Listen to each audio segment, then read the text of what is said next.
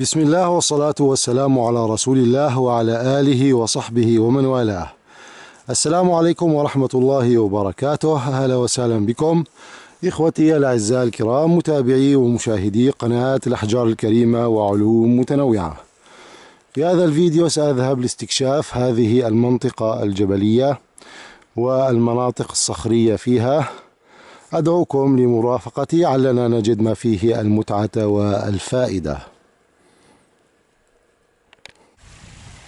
استمتعوا معي بمشاهدة هذه الطبيعة الساحرة وهذه الجداول المائية والشلالات الصغيرة. سبحان الله تبعث في النفس السرور والطمأنينة والهدوء والسكينة. وصلت إلى هذه الجروف الصخرية وهنا بدأت أشاهد عروق الكوارتز والكالسيديون في هذه الصخور كما تشاهدون. طبعا مثل هذه ليس لها قيمة ما نبحث عنه دائما هو التشكيلات البلورية الشفافة والملونة وشفافة. لكن عندما نجد مثل هذه العروق تزيد الفرصة لإيجاد تشكيلات بلورية. شاهدوا معي. لذلك أحب البحث في مثل هذه الأماكن. طبعا مثل هذا الكالسيديون شفافيته قليلة.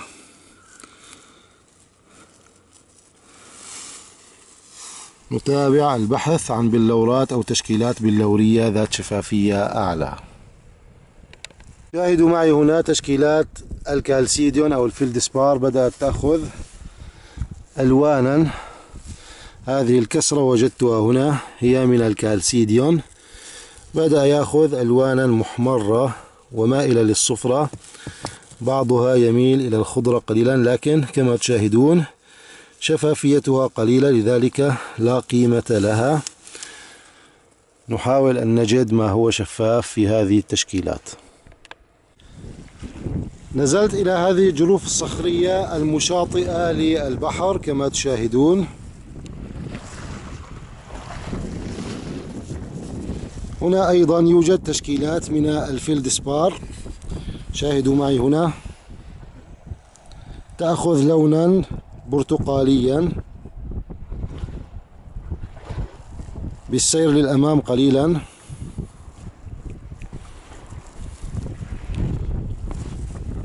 هنا أيضا طبعا إخوتي الكرام أنا عندما أقول أن الأحجار أو البلورات تتواجد في صخور الميغماتيت أو البيغماتيت أو بين عروق الفيلدسبار والكوارتز هذا لا يعني أنكم ستجدونها بالتأكيد لكن الفرصة وجودها سوف تزيد. لذلك أنا أبحث في المئات من تشكيلات الفيلدسبار والكوارتز لأجد الشفاف منها ونادرا ما أجد بلورات جميلة تستحق أن أجمعها وأصنع منها أشياء جميلة. لذلك إخوتي الكرام الكثير من الإخوة يسألوني هل جميع عروق الكوارتز والفيلدسبار يمكن أن تحوي على بلورات شاهدوا هنا هذه من أنواع الكوارتز الكالسيدوني. طبعا ليس جميع عروق الكالسيدوني أو الفيلدسبار يمكن أن تحوي على بلورات لكن يزيد احتمال وجود البلورات في مثل هذه العروق والتشققات بينها. وصلت إلى هذه المنطقة كما تشاهدون فيها عروق الكالسيدوني لكن شفافيتها قليلة. بالبحث بين هذه الترسبات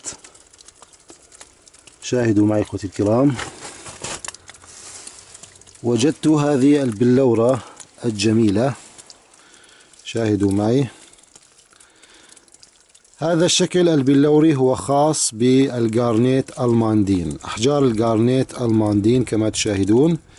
هي ليست آه، شفافة لكن ربما تكون نفوذة للضوء سأقوم بفحصها على ضوء الهاتف. شاهدوا معي إخوتي الكرام. شفافيته قليلة فيه نفوذية للضوء على الأطراف بعض الشيء لكنها قليلة. طبعا مثل هذا قيمته قليلة جدا. أما إذا كان شفافا أو نفوذا للضوء بدرجة أكبر عندها يمكن أن يكون له قيمة. أحجار الجارنيت ألماندين كثافتها تتراوح من 3.9 لغاية 4.3 أما بالنسبة لقساوة الجارنيت almandine فتتراوح من 7 درجات ونصف إلى 8 درج 8 ونصف على مقياس موس. إذا يوجد أحجار من ال almandine آه، قساوتها بقساوة البيريل من 7 ونصف ويوجد أحجار قساوتها بقساوة التوباز 8 ويوجد أحجار قساوتها أعلى من قساوة التوباز كقساوة ال taaffeite آه، والألكزاندريت وتبلغ 8 درجات ونصف. شاهدوا معي هنا إخوتي الكرام أيضا تشكيلات من الكالسيدوني بلون محمر. أنصحكم تكثيف بحثكم في مثل هذه الأماكن. الاحتمال يزيد أن توجد أحجار جميلة ولكن ليس بشكل مؤكد. وصلت إلى هذه المنطقة من عروق الكالسيدوني. سأحاول الآن أن أجري اختبار خدش لنحاول خدش الكالسيدوني باستخدام حجر الجارنيت الذي وجدته. طبعا شاهدوا معي الجارنيت خدش الكالسيدوني في هذا المكان كما تشاهدون. هنا أمام إصبعي الخدش واضح. وهذا طبيعي لأن كما قلت لكم الجارنيت قساوته من سبعة ونصف إلى ثمانية ونصف في حين أن الكالسيدوني قساوته من ستة ونصف إلى سبع درجات على مقياس موس نفس قساوة السيترين وال amethyst وغيرها من أنواع الكوارتز والعقيق. وصلت إلى هذا الوادي الذي يسيل بين هذه الصخور النارية. سأقوم الآن بالبحث في هذه الترسبات التي تشاهدونها. كثيرا ما نجد أحجارا جميلة في مثل هذه الترسبات. لذلك أحب البحث فيها. شاهدوا معي إخوتي الكرام. عقيق كالسيدوني جرفته المياه من الأعلى. طبعا فيه ألوان جميلة ولكن شفافيته قليلة. نفوذ بالضوء. لذلك يمكن صقله لكن لن يأتي عليك بأثمان كبيرة. أيضا هذا عقيق كالسيدوني بلون جميل كما تشاهدون يمكن صقله. لكن أجمل ما وجدته من أحجار هو هذا الحجر الجميل. شاهدوا معي إخوتي الكرام. حجر أصفر بلون ليموني جميل. هذا الحجر غالبا هو حجر سيترين ليموني. أحجار السيترين كما قلنا قبل قليل. قساوتها من ستة ونصف إلى سبعة وكثافتها من 2.65 لغاية 2.7 سأقوم الآن بإجراء اختبار خدش أمامكم للتأكد من نوعه. إجراء اختبار الخدش سوف أستعين بهذا العقيق الكالسيدوني والمشاهد إذا كان سيخدش السيترين أم لا. طبعا لابد من تجفيف الأحجار قبل محاولة خدشها. شاهدوا معي. الحجر متموج وخشن. الملمس لذلك لا يظهر. لا ألاحظ أن هناك أي أثر للخدش لنجد سطحا أملس في هذا الحجر هنا.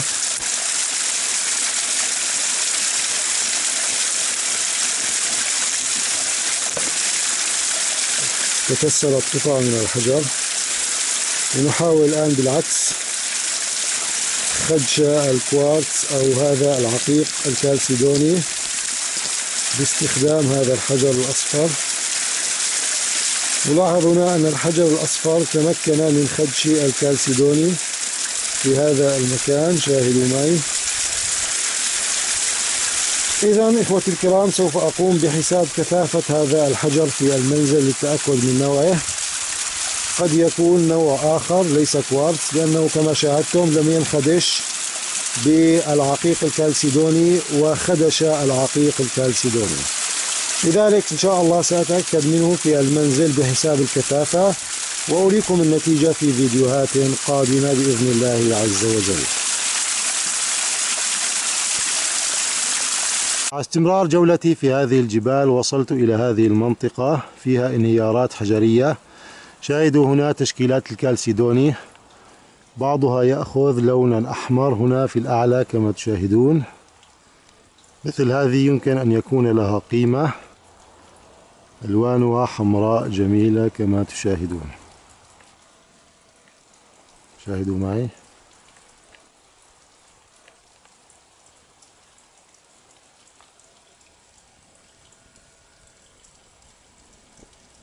أحب البحث في مثل هذه الأماكن التي تحوي على تشققات وعلى عروق الكالسيديون والفلدسبار شاهدوا معي هنا. هذه عروق أيضا من الكالسيديون شاهدوا مثل هذه التشققات والتصدعات بين الصخور. يمكن أن تحوي على بلورات. طبعا بدأت تظهر ألوان جميلة للكالسيدوني في هذا المكان. سأحاول الآن تكثيف البحث. لعلنا نجد تشكيلات بلورية جميلة. شاهدوا معي.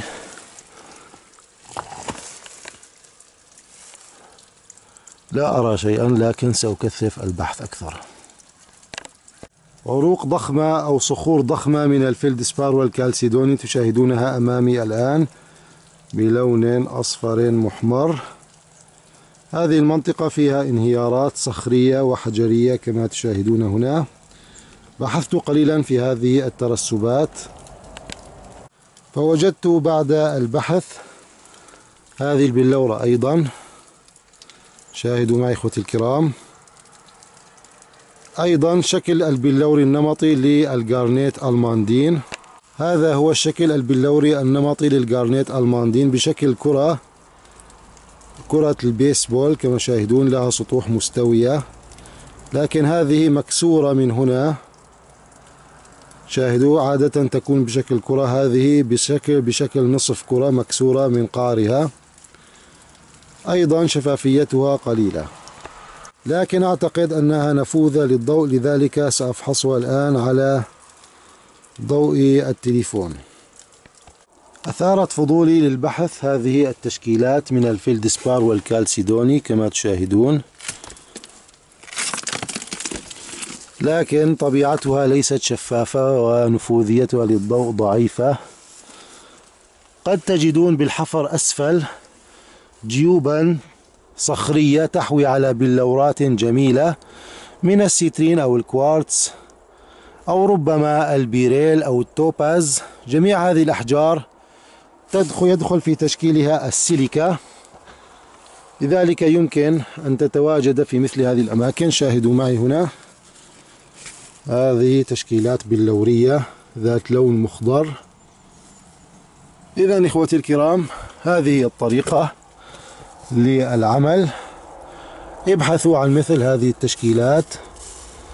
وعندما تجدوها حاولوا أن تجدوا تشكيلات بلورية شفافة وجيوب بينها. لعلكم تجدون بلورات جميلة. شاهدوا معي إخوتي الكرام هذا المكان يشبه الجيب الصخري. أنا الآن بين منحدرين من الصخور من هذا المكان وهذا المكان كما تشاهدون مكان مقعر جميل جدا. لا تعرفون أين تقودكم أو يقودكم المسير عندما تسيرون في مثل هذه الجبال الجميلة. طبعا يمكنكم السير كل حسب المكان الذي يقيم فيه. يمكنكم استكشاف الجبال الصحراوية ويمكنكم كذلك استكشاف الأودية الصحراوية. طبعا هذه المنطقة منطقة في شمال أوروبا طبيعتها باردة. لكن بشكل عام الطبيعة الجغرافية للأرض تتشابه في جميع البلاد. لذلك فقط تتبعوا الإشارات التي أحدثكم عنها وإن شاء الله عز وجل ستصلون إلى نتائج جيدة. أنصحكم أن تتركوا هواية البحث عن الأحجار الكريمة كهواية فقط مارسوها فقط في أوقات الفراغ. لا تضيعوا عليها أوقات الدراسة أو العمل. وهي هواية جميلة بطبيعة الحال. في نهاية هذا الفيديو أتمنى أن يكون الفيديو قد حاز على إعجابكم. إلى أن نلتقي في فيديو قادم. بإذن الله عز وجل أتمنى لكم كل الخير والصحة والعافية من الله عز وجل والرزق الحلال الطيب المبارك. بأمان الله وحفظه أستودعكم. والسلام عليكم ورحمة الله وبركاته.